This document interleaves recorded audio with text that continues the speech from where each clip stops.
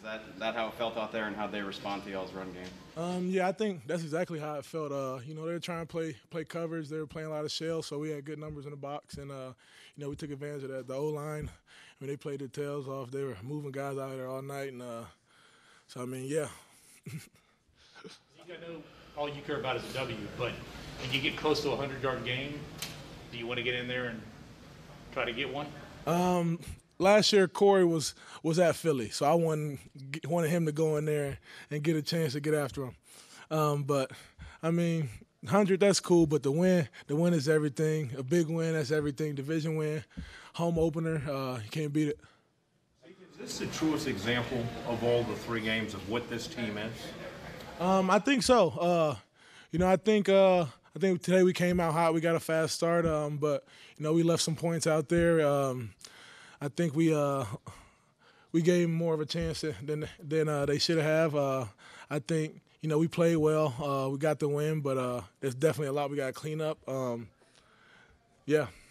Can you sense a difference in a game like this in the third and fourth quarter in the way that the, the contact is and how hard they're hitting you and whether or not they feel worn down? Um, no, you can definitely tell. Uh, you can tell, you know, with the O line pushing them all back five yards. You can tell when we're going to hurry up and they're uh, they're uh, still on the ground, uh, cramping up. So uh, they definitely felt us. Uh, we definitely uh, it was an emphasis for us to run some tempo, just to kind of wear those guys down, and um, O line took over. What did y'all think about that wrinkle of having Connor as like a jumbo fullback tonight? Uh, we liked it. We loved it. Uh, Connor came in. Uh, he, he, played his tail off. He had a, you know, he was jumbo tight end, jumbo fullback. Um, but yeah. Zeke, could you tell us how Dak was early, since it's his first game back here home at home? Um, I would say it's nothing, nothing other than different. I mean, nothing out of the usual. Uh, nothing out of the usual. Um, I mean, I don't. I think a guy like Dak, he's gonna be psyched regardless. Uh, you don't. There, there's not any extra he can get psyched up. Just the competitor he is, the player he is.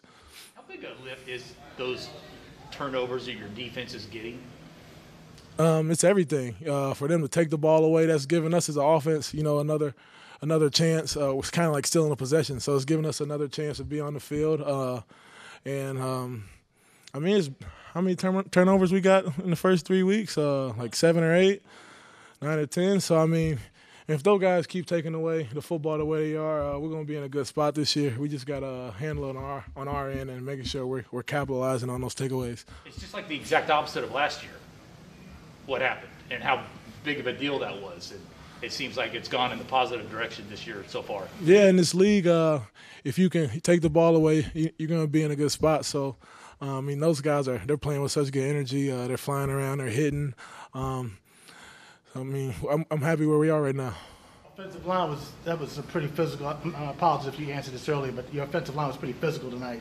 Did you kind of have a sense of that with the first couple of carries? Um, yeah, definitely. Uh, they were super physical. They controlled the game. They controlled the line of scrimmage, uh, and they're the reason you know we could get going as an offense. Overall, Zeke, what does it mean to impose your will on a team that you know you'll have to see again this early in the season? Um, that's just our mentality. That's the mentality of this team. Uh, we want to impose our will week in and week out. Um, you know, I think we, we took a step today, but uh, we got a lot to clean up. Um, you know, we could have we could have put more points on the board. It could have been a, a, a larger uh, margin for victory. What did you make of the, the touchdown on the goal line that they that Dak apparently scored, but was he was short a foot? Uh, good view of that. I thought he got in once he once he put it out. Um, but I mean, yeah, I thought he got in. They said he didn't. It's pretty rare in the NFL to get you know to be on the sideline for the end of a game because you're up by so much. Just how exciting is that? What are those conversations like, knowing that you played well enough to not have to finish the game?